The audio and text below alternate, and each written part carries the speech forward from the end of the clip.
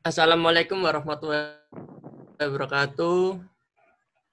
Ya, di sini saya akan mempresentasikan hasil kerja kelompok kami, yaitu membuat web wisata. Nah, di sini saya saya Dwi Mukti Irawan NRP 221019138 dan teman saya Muhammad Hilal Alif Asyarial NRP 221019133 dan M. Farhan Eka Widarto NRP 221019146 dan yang terakhir Ardianti Widiana Prastuti NRP 221019154. Nah, yang pertama ini saya teman saya akan menjelaskan tentang sistem login pada web kita. Ya, silakan Mas Farhan.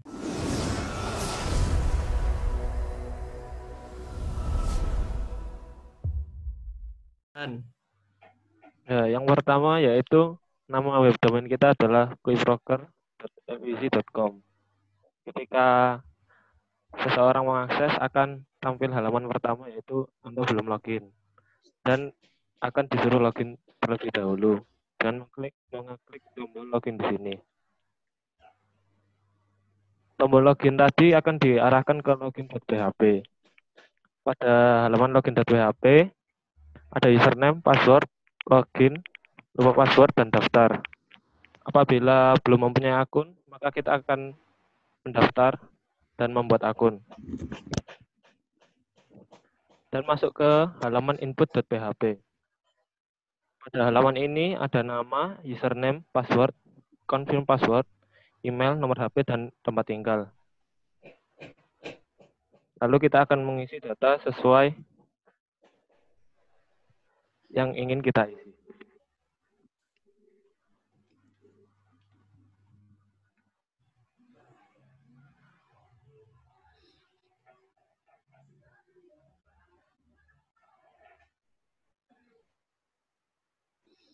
Apabila username sudah didaftarkan sebelumnya, maka akan muncul username telah dipakai, mohon masukkan username lainnya. Dan kita harus mengganti username.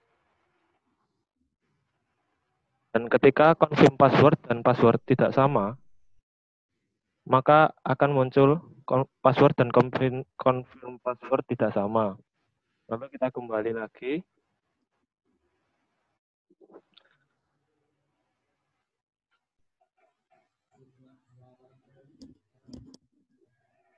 Setelah berhasil, akan muncul tulisan akun Anda telah didaftarkan, silakan silahkan login. Lalu kembali lagi ke halaman login PHP. Pada halaman ini kita akan login menggunakan akun yang sudah didaftarkan tadi.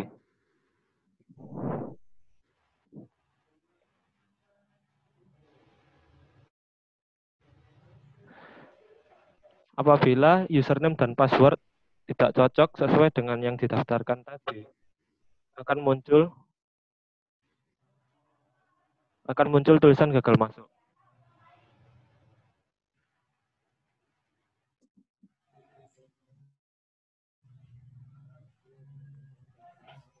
Ya, seperti ini.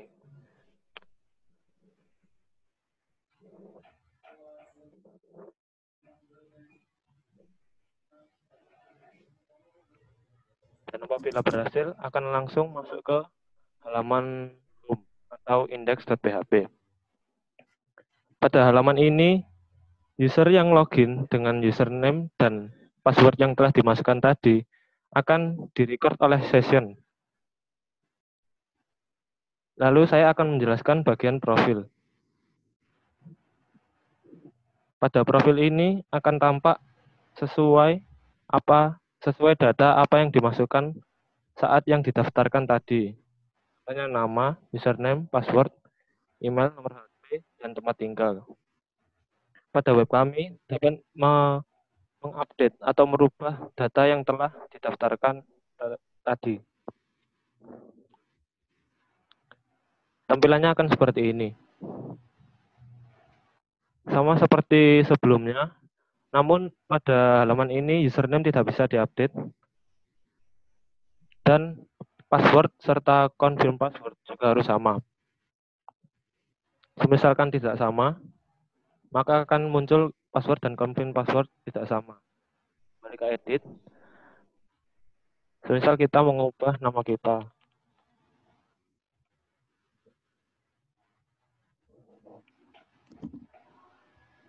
Dan tempat tinggal.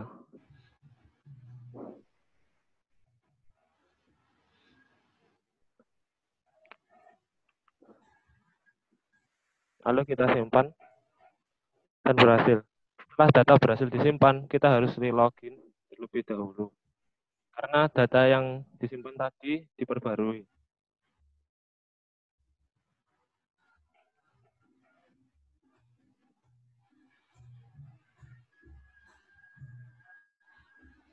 Balik lagi ke profil dan nama dan tempat tinggal sudah saya ubah seperti ini. Lalu pada sistem logout, ketika kita memencet logout pada pojok kanan atas, itu akan langsung kembali ke halaman login, serta akan mendestroy session yang telah berjalan pada home tadi. Sekian presentasi dari saya. Penjelasan selanjutnya akan dilanjutkan oleh teman saya.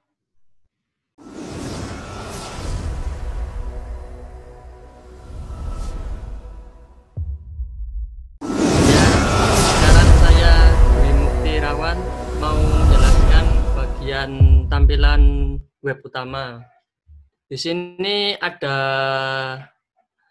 ada navbar yang ada apa namanya?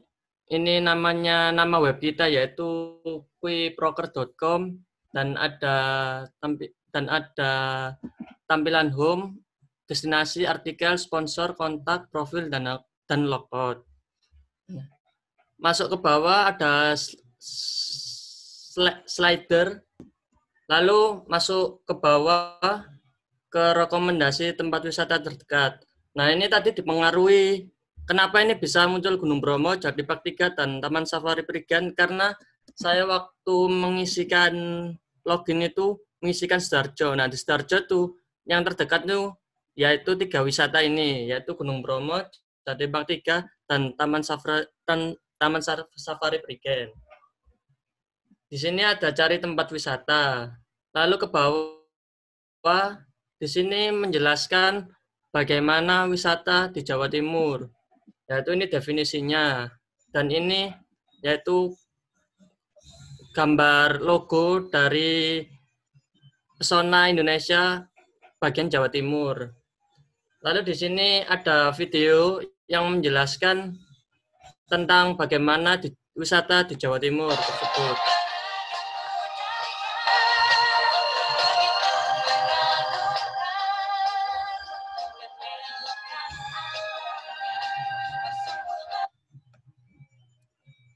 Lalu bagian ke bawah ada enam wisata yang menurut kita itu yang paling bagus di Jawa Timur. Nah kan tadi saya mengisikan Starjo kan terdekatnya di Gunung Bromo, Pantai eh Jatipak Tiga dan Taman Safari Prigen. Nah di sini bisa melihat detailnya secara lengkap. Lalu, di sini web kita menawarkan ada memberikan lokasi tempat wisata. Nanti semisal kita ingin melihat ini maka akan akan tahu di mana lokasi tempat wisata itu yang yang yang tempat tempat lokasi wisata yang jelas. Jadi itu di mana tepatnya. Lalu ini web, wisata kita menawarkan tips-tips menarik untuk traveler. Nanti di bagian di bagian artikel ini terdapat tips-tips menarik untuk berwisata itu bagaimana. Lalu pada destinasi wisata terdapat terdapat menurut kita penjualan tiket yang terbaik untuk menuju ke destinasi-destinasi tersebut. Lalu di bagian ya saya Dwi Mukti uh, ingin melanjutkan penjelasan sekarang tentang kontak .php. Nah, sama seperti web yang tadi ada navbar ya dengan menu-menu yang sama tetapi beda isinya. Tadi kontak ini terdapat sebuah gambar ya ini yaitu ini dan ada or office yaitu kantornya di sini. Lalu ada kritik dan saran. Dan di sini ada menu input, ada menu input nama, email, phone number, dan message. Dan ini tombol submit. Nah, semisal ini diberikan nama ini jika namanya sama yang pernah diisikan, maka akan muncul ini. Lalu untuk email, phone number, dan message. Lalu untuk kita submit, nah ini, ini tidak terkirim ke mana-mana karena ini cuma hanya sebagai pelengkap saja. Nah, semisal ini belum diisi secara lengkap, maka akan muncul seperti ini. Please fill out this field.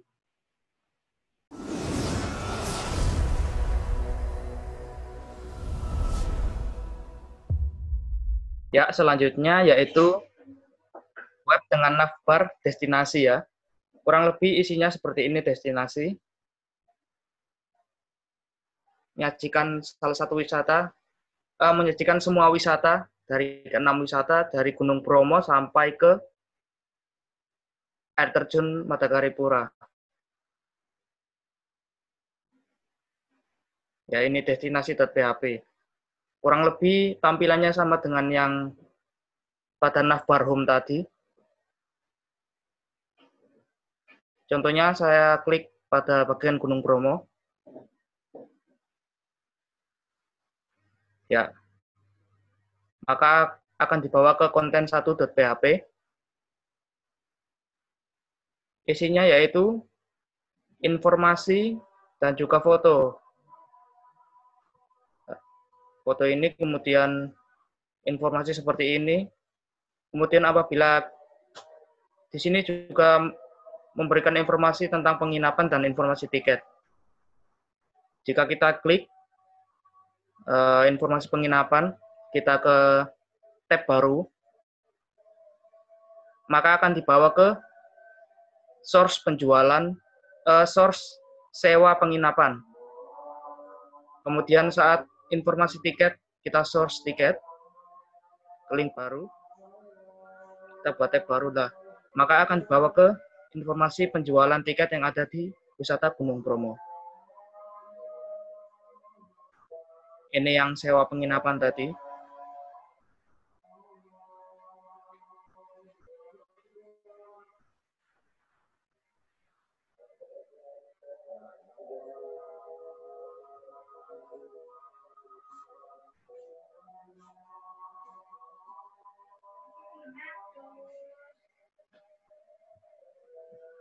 Ya, dari wisata Gunung Bromo tadi itu tidak jauh berbeda ya. Jadi untuk wisata-wisata yang lain itu hampir sama ya isinya dengan yang Gunung Bromo tadi. Contohnya yang air terjun Madakaripura.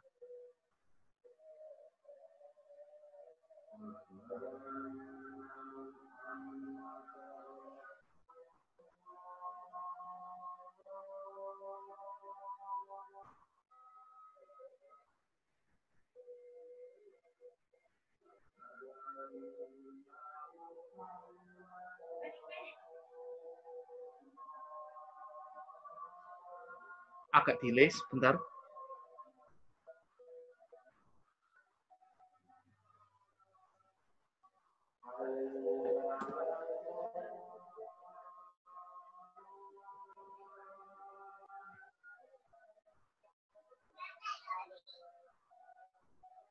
Thank you.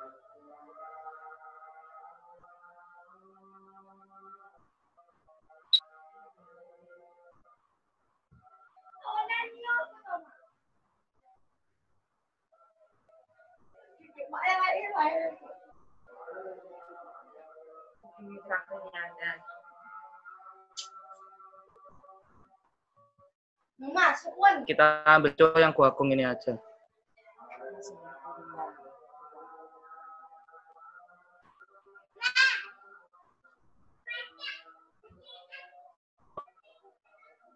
Saya Anan, pause Anan, pause Anan. Kok delay ya? Lu wes tarik record. Ya selanjutnya yaitu navbar destinasi. Kurang lebih menyajikan wisata-wisata yang ada di web ini dari Gunung Bromo sampai ke air terjun Madakaripura.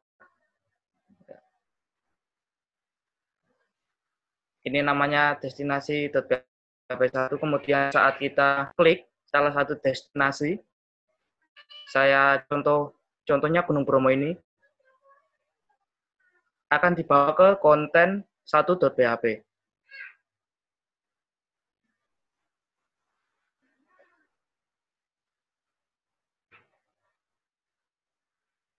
Nah, di konten 1.php ini menyajikan gambar dan juga informasi dari wisata yang ada di Gunung Bromo.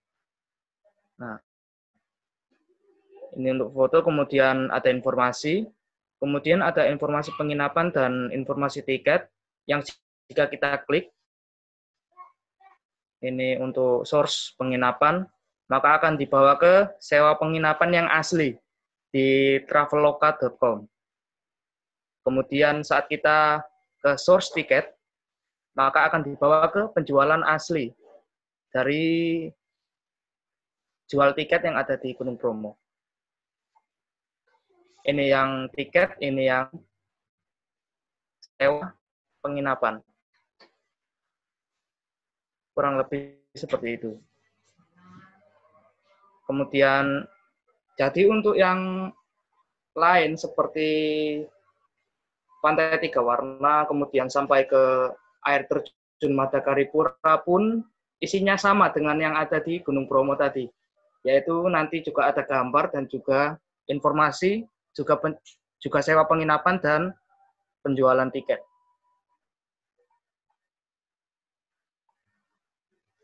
Contohnya Taman Safari ini,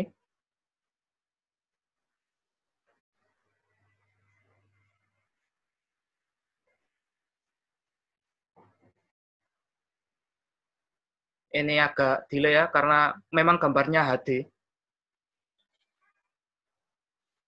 Jadi di sini nanti ada gambar. Ini konten 5.php.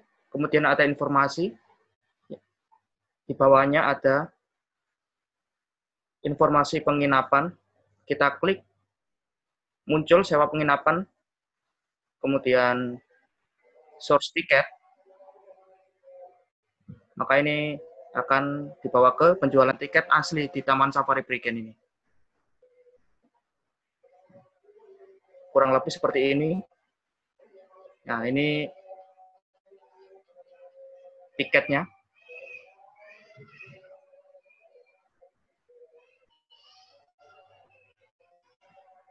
Jadi kurang lebih tiap konten yang ada di web destinasi.php ini kurang lebih isinya sama. Mungkin hanya gambar dan informasi yang berbeda. Kemudian untuk yang destinasi memang tidak jauh berbeda ya dengan yang ada di home tadi.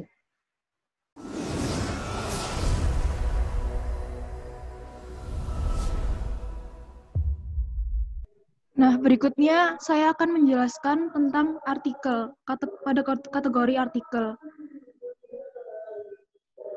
Ketika sudah masuk kategori artikel, nanti akan dibawa pada artikel .php, dan kemudian pada artikel ini itu ada berisi beberapa hal yang perlu Anda perhatikan ketika akan bertraveling.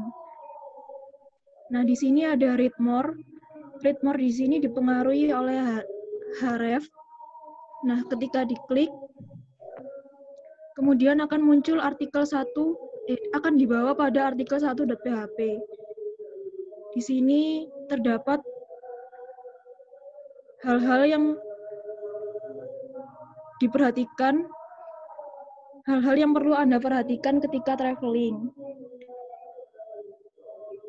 Kemudian pada bagian bawah terdapat search, tra search travel detik. Itu berisi web yang berisi web yang lebih lengkap yaitu 50 tips traveling paling penting yang dapat Anda buka.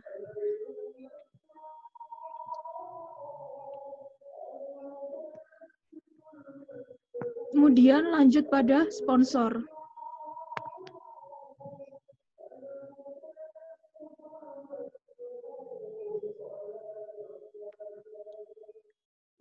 Nah, di kategori sponsor ini terdapat beberapa sponsor yang dapat digunakan untuk mencari dan memesan hotel atau penginapan ataupun membeli barang-barang yang mungkin akan kalian butuhkan saat berwisata dan dapat dipesan secara online. Di sini terdapat beberapa sponsor yang tersedia seperti blibli.com, Tokopedia, Traveloka, Trivago, TripAdvisor, dan Mr. Aladin. Sekian presentasi dari saya. Ya, sekian presentasi dari kelompok kami, yaitu tentang web wisata. Maaf bila ada salah-salah kata atau yang kurang jelas. Saya akhiri mewakili teman-teman dari kelompok web wisata. Wassalamualaikum warahmatullahi wabarakatuh.